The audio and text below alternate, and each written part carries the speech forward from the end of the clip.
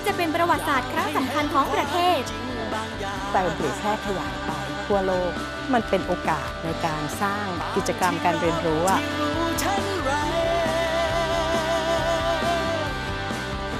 ผมภูมิใจนะว่าคนในโลกคนหลาย ๆ ประเทศ